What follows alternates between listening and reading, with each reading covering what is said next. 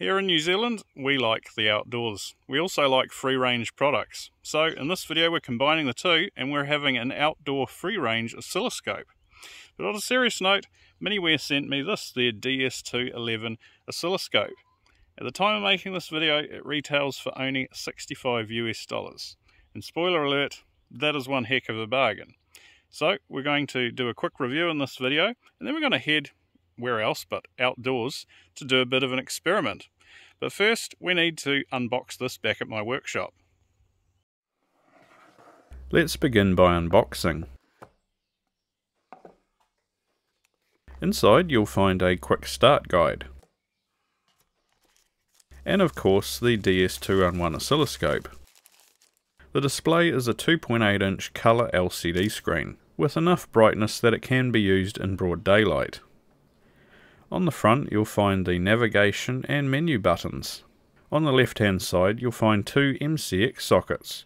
The top socket is an input for things like a probe and the other socket is used as a function generator output. There is also a USB port for charging the internal battery and upgrading the firmware. On the right hand side is the power on off switch. Lastly, on the back of the unit we have a warning label not to exceed 40 volts input. Although the maximum input voltage is quite low at 40 volts, if you consider using the 10x divider on the included probe, this means I can measure up to 400 volts safely.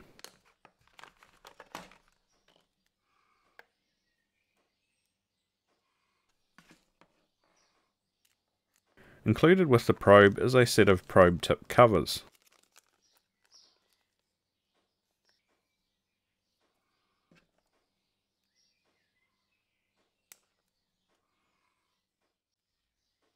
The oscilloscope boots up in a matter of seconds. Let's pause here for a moment to quickly explain how to navigate the menu system. Here we have a list of menus we can access. The plus and minus buttons change the highlighted menu, then to access that menu press the M button. From here you can scroll through various settings to set up the scope according to your needs.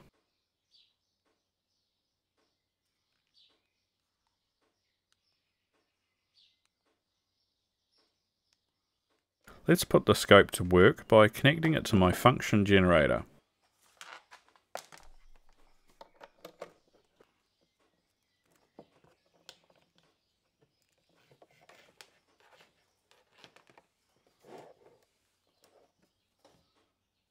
With a signal on the screen, I can change the volts per division to show the waveform.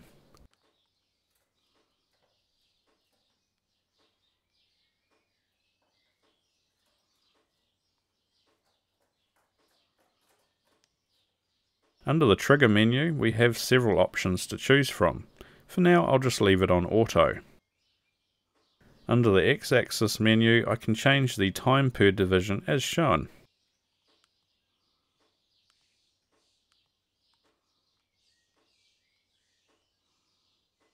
Under the measurement menu, I can choose between several measurements to display on the bottom row, including frequency, duty, RMS, peak to peak, and so on.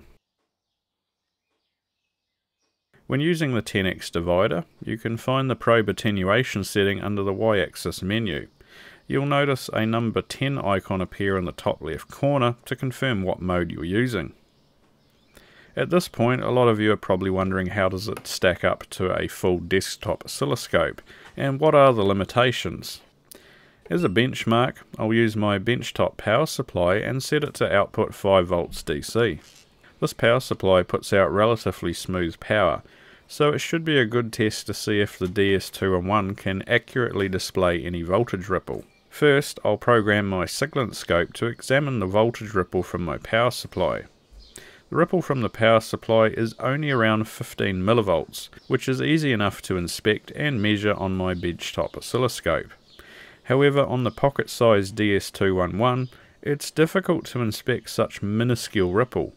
This isn't really a criticism, rather I'm just highlighting some of the limitations a $65 scope has to offer. Now let's get back to that experiment I talked about earlier in the video. I grabbed a pair of alligator clips, an LED, and assembled a full bridge rectifier from four diodes. I soldered the diode leads and then connected an LED.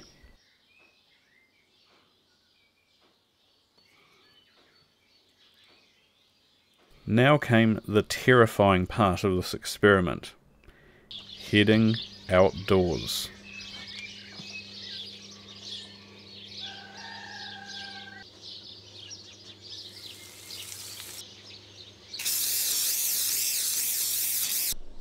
Now for this experiment, I could just do a cutscene straight to location, but I wanted to take you guys on the journey across my parents' property. So let's get into it.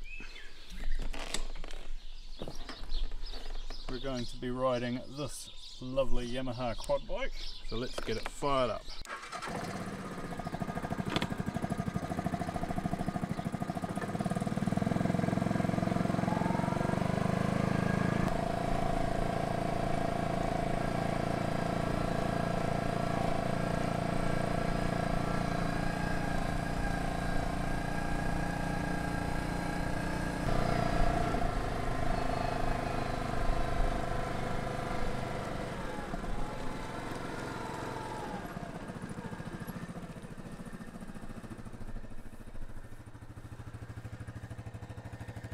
To need this.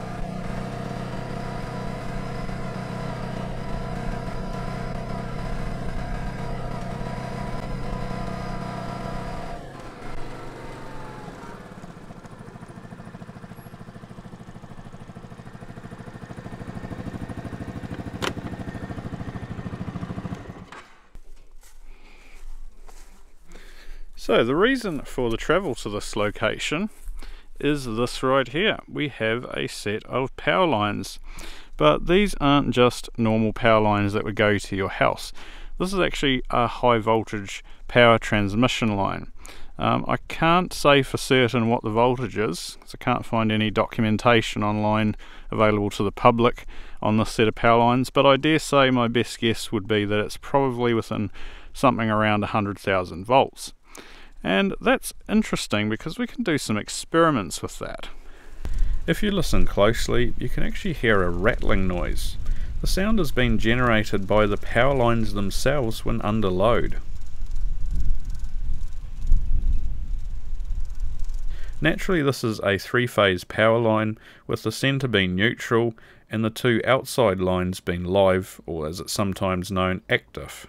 One of the few downsides of AC power is power loss through an invisible electric field around the power lines. I can capture some of this power by pushing a grounding rod into the earth and connecting one of the leads from my multimeter. With the meter set to measure AC volts, I raised up the other lead and pointed it towards one of the outside live power lines.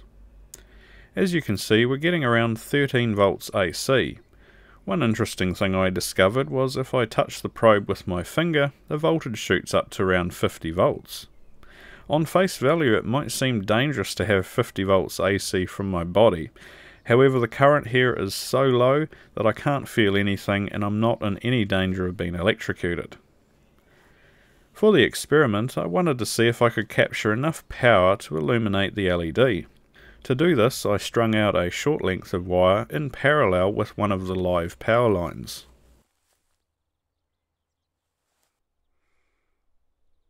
The voltage was around 30 volts AC, not bad for such a simple setup. For curiosity, I used my DS211 to inspect the waveform.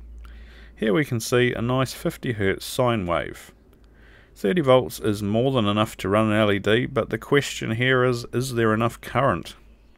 I connected the LED to earth and connected the other side to my wire.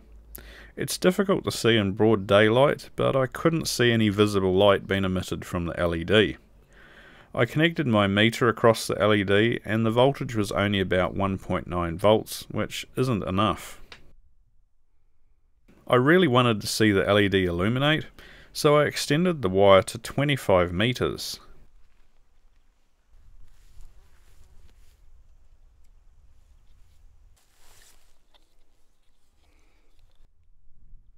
The voltage was a little higher this time at about 40 volts, so I reconnected the LED but only achieved a modest voltage gain of 600 millivolts, still not enough.